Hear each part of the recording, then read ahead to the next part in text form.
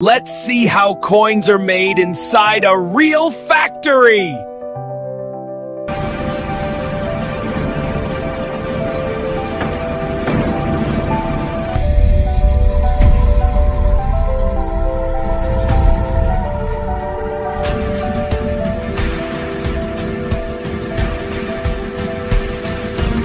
Step 1. Large metal sheets enter the production line. Now the metal sheet is ready. Workers guide it into the blanking machine where the coin shapes will be cut.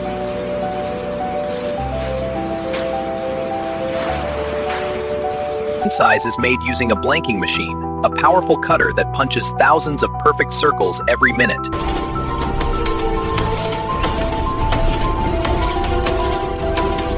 Step 3. The blanks are heated to strengthen the metal.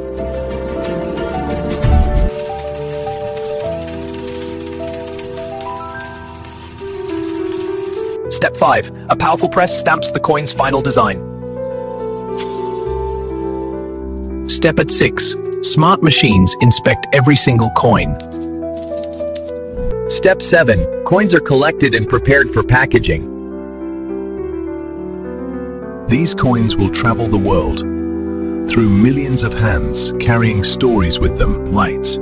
Every coin begins as just a small piece of metal, but it becomes something meaningful. A simple piece of metal becomes something valuable because people work with And this is how your money is made!